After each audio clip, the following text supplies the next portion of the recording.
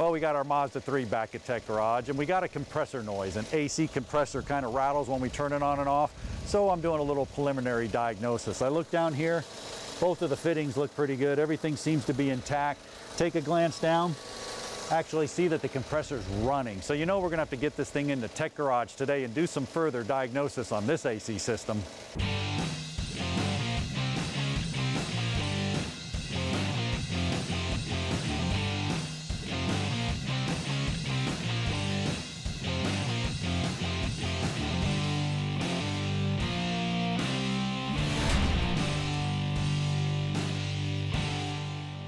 Now that's a rattle.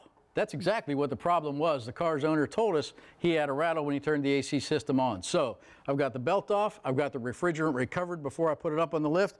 John, our Mazda 3 needs a compressor. Yeah, it does. Welcome to Tech Garage, presented by RockAuto.com. You know, that one was a dead giveaway, Brian, but a lot of these need a gauge reading, man. We always do that on Tech Garage. Yeah, absolutely. And it was blowing cold air the whole time. Strange symptom, but the rattle bang was a clue that the clutch or something on that pulley was a problem. Yeah, and this one's going to be an easy one for you. It's four bolts, going to be a piece of cake. You already got it recovered. We're good to go. But we have to understand a little bit about that AC gauge readings. I mean, we owe it to our viewers. You know, there's a high and a low side when it comes to the system. Take a look at this first graphic here. And this is important because the high and the low side is always divided by the compressor and the control valve. Brian, walk us through the high side. Well, a little AC 101. It comes out of the compressor under high pressure through that condenser, through that entire route through a dryer all the way up to that control valve, and then there's a handoff. There you go. Then what happens in the low side is where the compressor is actually pulling. It's pushing on the high side, pulling it in, up through the control valve, through the evaporator, and back to the compressor. So if you were to hook up your gauges, the low side would be on the blue side. That's why the pressures are low, because we're usually pulling on that side. The compressor's actually sucking it in. The other side is on the red side. That's pushing it out. So that makes all the difference in the world. Absolutely. I got four 10 millimeter bolts, a few connections. This compressor is going to be off in no time. You get to it. You know, we have to understand a little bit about pressure. So take a look at this graphic. You can see the first one right there, and we're running about 30 to 40 PSI on the low side. That's about normal. 150 to 250 on the high side. That's pretty good. Depending on the refrigerant and the temperatures outside, it could vary a little bit. If you go over to the right, well, you see the low side is actually running high pressure, and then the high side has high pressure as well. So if they're both high, that's usually something through the airflow or condenser causing it, or too much refrigerant in the system. Now on the bottom left over there, you see the low side's running low pressure and the high side has low pressure as well. That's usually just an undercharged system. And the last one there on the right, well, the low side has high pressure and the high side has low pressure. And what that means is actually the compressor is not pushing or pulling any of the refrigerant in. You're pretty much going to need a compressor. Now I have a couple compressors right here and this is pretty cool too because this one's called a variable displacement compressor and I can actually demonstrate it for you in action. This is pretty cool. What makes it a variable displacement compressor? Well, check out these pistons inside. Now I'm going to move it. You're going to see the stroke of these pistons. Keep your eye on the stroke of these pistons right here because what's going to happen is, although they're moving, they're not really moving very far. The stroke is not too much on there. So as I go around, now what I can do is with the variable displacement compressor, I can come over here, bam, change the displacement. Now watch the stroke. So as I go around here, wow, we just changed the stroke. What does that do? Well, if we're changing the stroke, every time the refrigerant comes into the compressor, we're actually changing the pressures. We can do that electronically or like this one with mechanical pressures and the use in the system of doing it. Now, what's going on with this car here is everything's fine. We're riding along. You can see it right here. I'm pushing the pulley, everything's good. But what happens is once I magnetically engage that clutch, you see that clutch pull in and out. Every time it pulls in and out, now that starts running the second one here. So that's running all the pistons inside. Now once we develop that load, well, that load starts making that pulley growl and we're starting to get that noise. So once it's disengaged, spins really easy, bam, connect it, everything's pushing inside of the compressor. The compressor starts working and we're having a bearing failure. Well, Brian's moving right along with that bearing failure. He's about got the compressor off. Let's check in with him.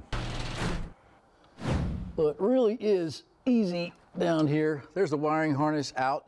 You want to get this kind of up out of your way. And I got three of the four mounting bolts out. It's rarely this easy. So quick access, let me break this guy loose. We're gonna get this old compressor down out of here. Now, you're gonna see in just a moment what we're gonna do after the break for really good quality service when you replace a compressor. Here's the old one. down and out. Wiring harness, everything protected. So take a look here. The refrigerant lines, see the O-rings right here? We're gonna replace those O-rings. There's a whole story and process and procedure you gotta follow with the right amount of PAG oil. We'll tell you more about that after the break. So stay with us on Tech Garage, brought to you by rockauto.com.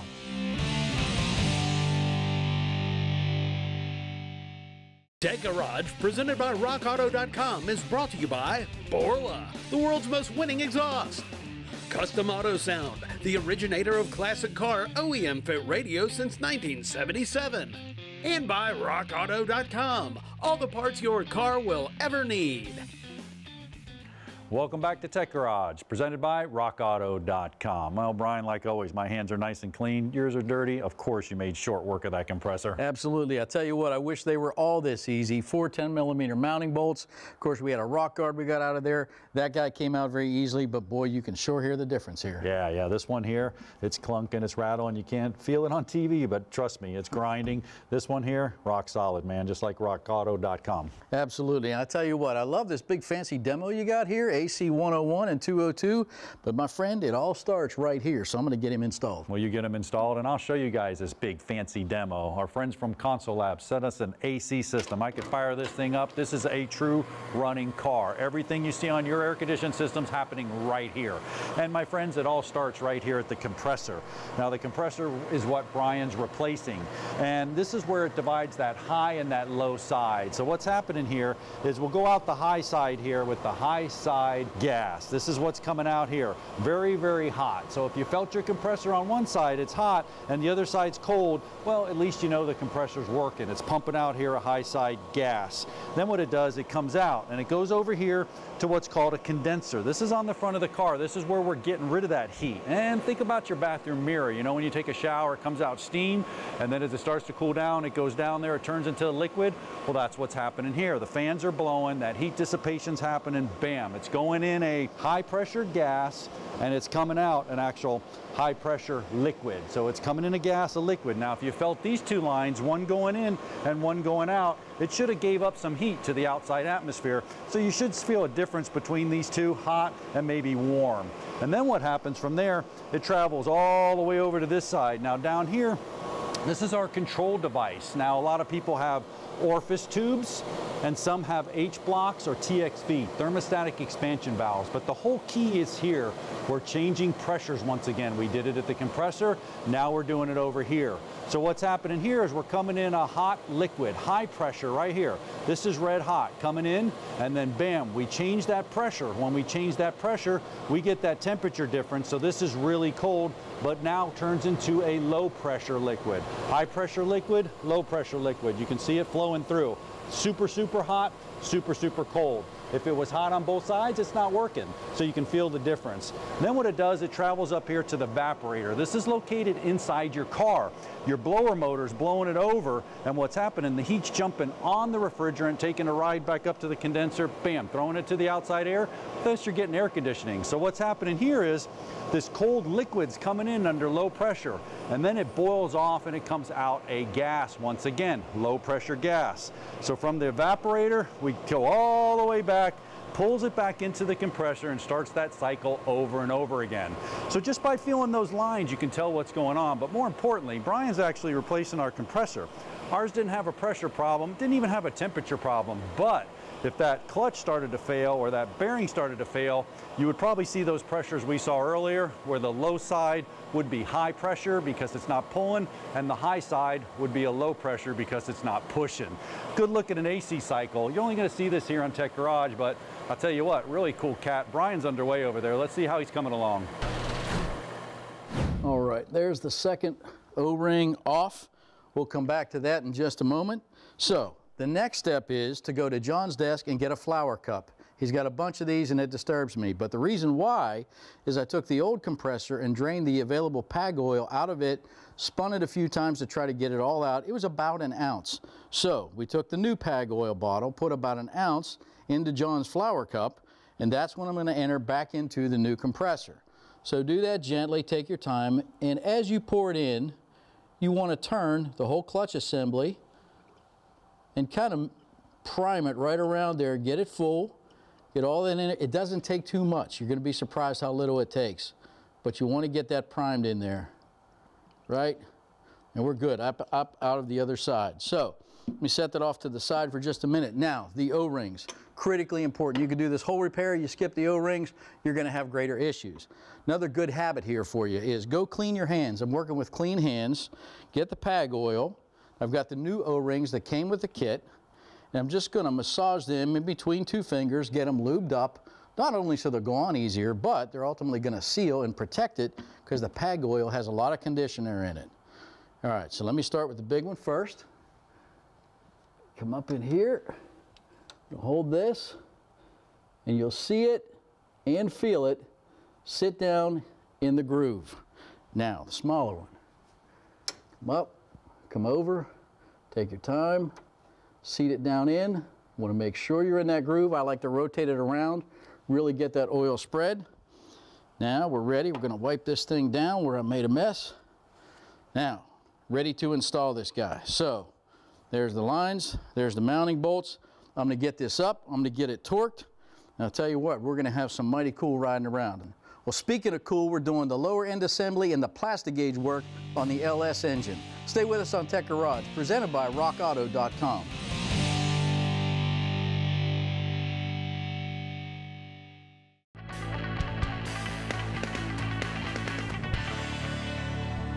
Welcome back to Tech Garage, presented by RockAuto.com. Now we're making great progress with the LS lesson. Brian is coming along. Absolutely, and once again, I'm ahead of you, John. I got all four of my pistons in. I'm torqued down on the bottom end. We'll go back and check that, but I'm ahead of you, buddy. It's not supposed to be that way. Anyway, I got the last piston so you can see it anyway. This is pretty cool. First thing we had to do was stagger all the rings. You don't want the gap to go through there or you'll have blow by. It'll get through the cylinder, so we'll do that.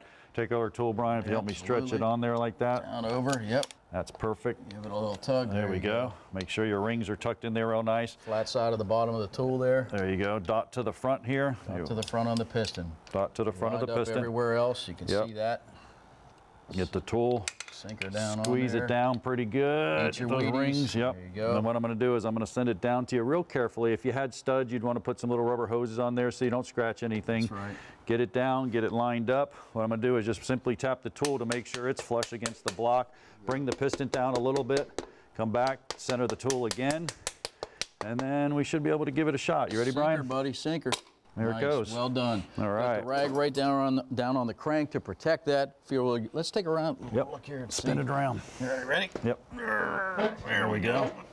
Awesome. Awesome. Tremendous. Now we can go ahead and lose your rag. That's a good get thing. this rag out of here. Up the piston down in here. Perfect. There we go. Awesome. Now, Brian, if you work that piston up, I'll work the bearing. You got to go Okay. here and kind of push it up to me from the bottom, from the bottom there. There you go. Here we go. Got it. Yep. Look at that. Wow. right down on Beautiful. All right, you got the bearing, but before you Absolutely. Main cap here, really important. Numbers have to match numbers. You want that to go on right. Okay, here but before you do that, let's go ahead and Oh. do a little bit of Plastigage, all right? This is pretty cool. Just another look at a measurement that's maybe not as precise as what we did by measuring the crank and then measuring the bore and subtracting the two, but this is pretty cool. I'm gonna lay this little piece of plastic right on there. So if you look down there, there's this little piece of plastic called Plastigage. Now we'll put the cap on. You wanna do this dry. You wanna make sure it's dry and you don't wanna spin the crank. So get your numbers right and get that on there. Numbers right. You want to torque it down. Mm-hmm. And you're looking to crush that. Obviously, that's going to give us our tolerance and the acceptable spacing. There you go. I'll run them down. You wanna get the torque wrench? Yep, absolutely. Now what we'll do is we'll go ahead, the torque is two specifications. Is it what, 15? 15, 15, yep. So you go down to 15 till you break the neck there. That's it, There you got go, it? right there. Not much. Yep, Spin it, accelerate here. There we go. perfect. And then the degrees, how many degrees is it? Uh, 80 or 81. Okay, 80 Yep. degrees, so we're gonna go around. Just look at your spec, everyone varies a bit. I'm gonna put this, is called a torque angle gauge. This is pretty cool. And what I'll do is I'll set zero here so you guys can see it. Let me get zero over here. There's zero right there. So if I bring this around to zero, I'll loosen this up. And what I'm doing is I'm actually got it on the bolt. Zero's right there. When I pull it, I wanna go degrees, a little more accurate than just the click type torque wrench. So I'll go around to all the way over to about 80 right there. Oh, that's scary, but it does it, all right? Yep, and we do the same thing on this one. Bring it back to zero, put it on there. And then what I'll do is I'll pull this one. Once again, 80, right about Nice. there. And that's There nice go. and tight. So it's Well torque done. to specifications. We did the main bearings that way. Now what we can do real quickly is pull it this off. Brian, if you grab that cap real quick. Grab that so cap and let's the take a look straight off. Coming straight off, you get a good look at this. Nice, all There you right. See go. it's smooshed right there? So we're looking at about, I would say, almost 2,000s. Just check your spec, make sure it's right. If you have too much, you'll have oil leakage, it won't build pressure. You don't have enough, it's gonna seize up. Hey, you know what? We're going to the Garage Ed right after this break. Stick around, plenty more Tech Garage brought to you by rockauto.com. Tech Garage, presented by RockAuto.com, is brought to you by Hunter Engineering, state of the art wheel aligners and wheel alignment machines, Steele Rubber Products, quality crafted rubber parts and weather stripping, and by RockAuto.com, all the parts your car will ever need.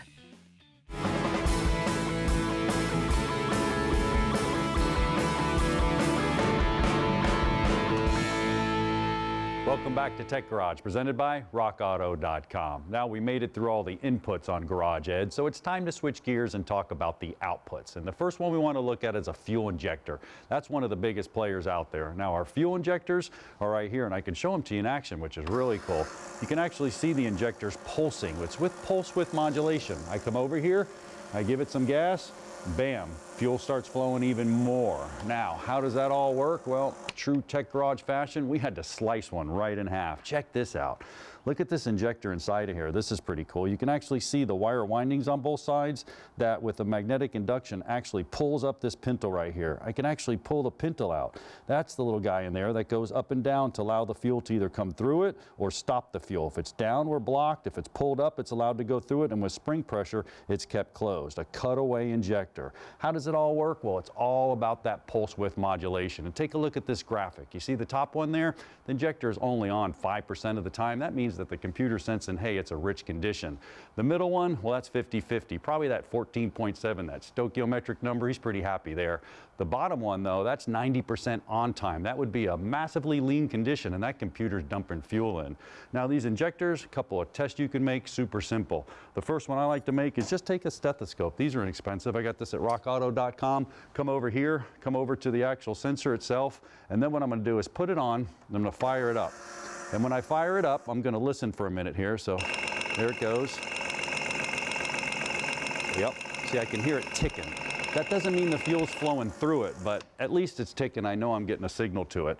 If I wasn't getting a signal to it, well, I can check it with a Noid light. Also got that set at rockauto.com. They got some cool tools there as well. I take that up there, take this Noid light, which is going to substitute the injector, and not do any damage to the system. I'm going to fire it up. You can actually see it pulse. Well, what is that telling me? That's telling me the computer's working, the wire harness is working. I have a problem down in the injector. Now, those are some cool tests you can run, but you know what? There's even one more. Brian's checking it out. Yes, and that test is for resistance. What we're checking is for the windings, essentially the copper inside every fuel injector to make sure we have the proper amount of resistance so we have proper functionality.